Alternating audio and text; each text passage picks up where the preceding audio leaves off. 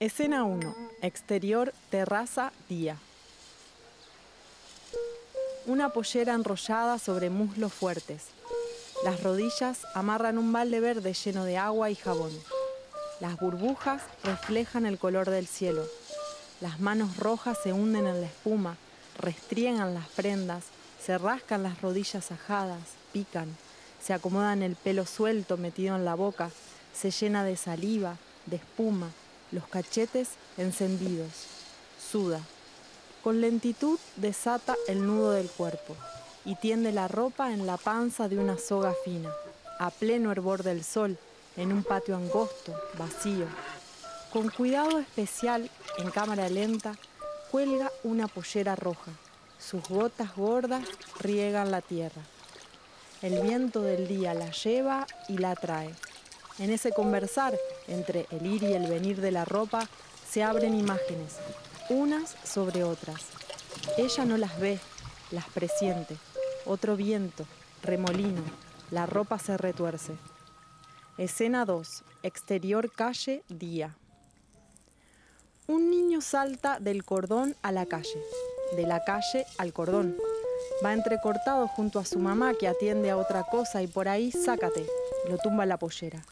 El pequeño lanza un llanto al aire, distrae a la gurisa que pasa en bicicleta y frena porque casi pisa a una mujer altísima que cruza tomada del brazo de su abuelita.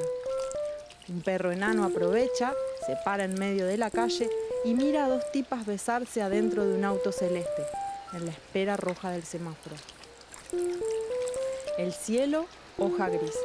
Los árboles, puntos verdes. Y desde un balcón cuelgan calzones, media sin par y una pollera roja.